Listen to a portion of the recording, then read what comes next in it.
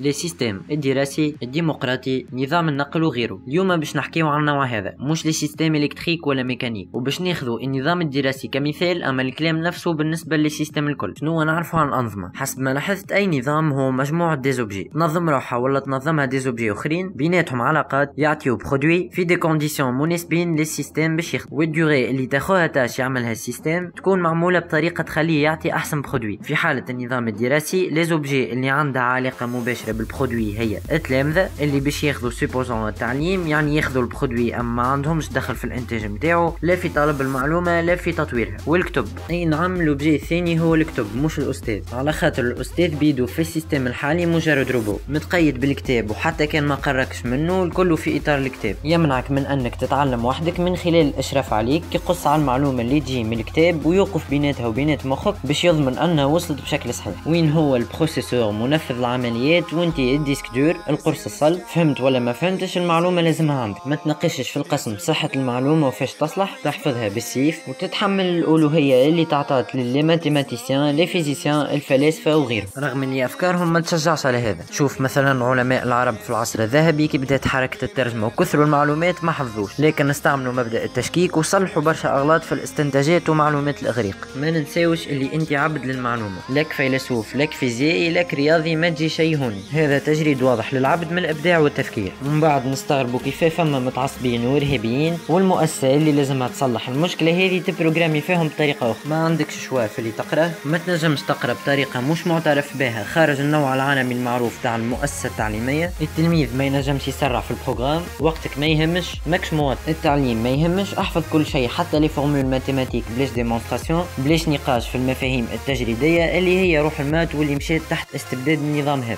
خذ 20 انسى كل شيء. فرق ال algèbre géométrie وقت اللي ال algèbre وحده مجرد séquence d'étapes تعمل على résultat ما تعرفوش حتى كيف خرج هذا مثال في أكثر matières تتقرب الغلط يعني حتى في طرق التعليم نتاعنا مستعبدين. لا تونس ما تعملش حاجة جديدة. لازم دولة أخرى عملتها ما كانش نحن غالطين. الأستاذ عندك مجال محدود للارتجال تقيد بال programme بالقديم الكل. أنت عايش في القرن 21 ما يهمش. مستوى وعي كيما القرن 20 و19 العباد هذم أصح منك. التجديد حاجة زايدة. أنا ما فهمتش كيف إنسان adulte. يحب التعليم يوافق على تيبس وتحفظ المؤسسة هذه. وهو أحق عبد باش يعطينا رؤية جديدة على المعرفة. أما اللي نشوف فيه أنه برشا من الأساتذة خسروا ال créativité وال logique نتاعهم والقلب اللي قومك من كرسي وأنت صغير واللي حقرته من أول نهار دخلت فيه للمكتب. التلميذ في ال classe يهز صبعه باش يعمل حاجة بشرية لازم منها كيما يمشي للتواليت. وين نلقاو هذا الكل؟ في الأنظمة الاستبدادية. أي نعم تعليمنا ديكتاتوري مش من طرف واحد أما من حدود عملناها لرواح كان تغزر بالقدا وتسمع اللاوعي نتاعك تفهم على تحس بال négativité والقلق هذوكم الكل في مخك من غير سبب. في ال système هذا العلاقات لازمها تساهم في ال produit اللي هو التعليم في des conditions تخلي الوظيفة هذه تصير كما الصح. إنسان مريض ما ينجمش يتعلم ويضر les objets الأخرين. في البرد لازم سقف ولا كبابت كان الخروج ممكن. كيما باش نقراو على feuilles d'arbre وانت عمرك ما ريت bourgeon axillaire ولا برعم إبطي و puisque نحن ربطنا البرا بالجو والداخل بالفده فما chance كبيرة باش تتذكر اللي قريتو الكل على les feuilles d'arbre من ال expérience هذه. كيما نهزو خمسة كتب وخمسه كرارس ونضروا ظهوراتنا وقت اللي نجمو ن téléchargerو. الكتب الكل ونكتبو في les appareils intelligents اللي عندنا. في عوض ما نقتلو غابة باش نصنعو blocs نتاع كتب وكرارس ومن بعد يقريونا على ال réchauffement climatique. من لا تفاهه وال théorie نتاع تعليمنا خايبه برشا مازلنا نجمو نلخصوها ونبسطوها. أنا مثلا قاعد نمشي ونشوف في الأغلاط نتاع ال système لقيت روحي اللي نقرأ فيه. يا نعرفه puisque أنا نتعلم وحدي ولا اللي نقرأو فيه عامي ومعروف من العباد الكل. يا قاعد يتقرأ بطريقة غلطة ماهيش intéressante يعني مضيع برشا وقت. أنا متأكد اللي قريتو فيه برشا زايد بالنسبة اللي نحتاجه ونجم نعطي des exemples ونفسر قد ما نحب. الواضح أنه système نا تحت برشا pression وال gears نتاعو تعبين. لازمو support gears والأهمال هذا الكل مش باش يتعدى بالسهل. question تاع وقت برك.